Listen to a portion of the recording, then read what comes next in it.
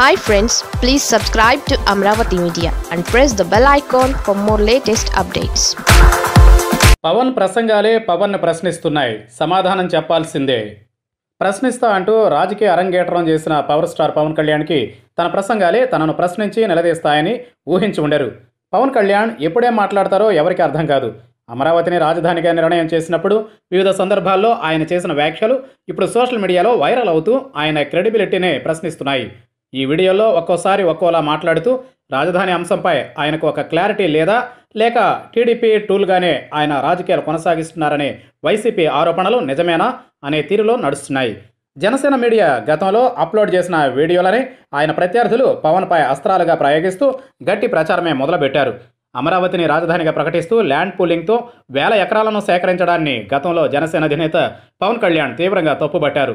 ఇలా చేయడం వల్ల రాష్ట్రం మూడు మొక్కలు కావచ్చంటూ జోస్యం కూడా చెప్పేశారు. ఆ తర్వాత మరో సందర్భంలో చంద్రబాబు చర్యలను తిట్టిపోశారు. ఎవరి లబ్ధి కోసం రాజధాని అని శ్రీకాకుళం నుంచి వచ్చే ఒక సామాన్యుడు భూమి కొనాలనుకున్నా నివాసం ఉండాలన్నా సాధ్యం కాదని దుమ్మెత్తి పోసేశారు. మరో సందర్భంలో కర్నూలులో మాట్లాడుతూ రాయలసీమ నుంచి ఎందరో ముఖ్యమంత్రులైనా ఈ ప్రాంతం ఇలానే ఉండిపోయిందని. కానీ తాను గాని సీఎం అయితే ఈ ప్రాంతాన్ని క్యాపిటల్ కన్నా ఉన్నతంగా చేస్తా అని హామీ ఇచ్చేశారు.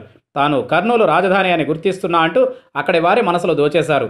తాజాగా అమరావతి ఉద్యమంలో పవన్ చేస్తున్న కామెంట్స్ వీటన్నిటికీ భిన్నంగా ఉండడాన్ని ఇప్పుడు అంతా ప్రశ్నిస్తూ నిలదీస్తున్నారు. ఇలా రోజుకో మాట చెప్పి చివరికి ఆయన మరొక రకంగా చేయడం జనసేనానికే చెల్లిందని సోషల్ మీడియాలో చర్చ జోరుగా సాగుతోంది.